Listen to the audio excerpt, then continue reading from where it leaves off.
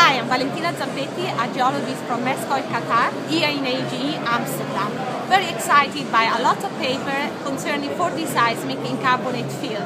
Very good news thinking of the 4D seismic we are going to acquire soon in Qatar.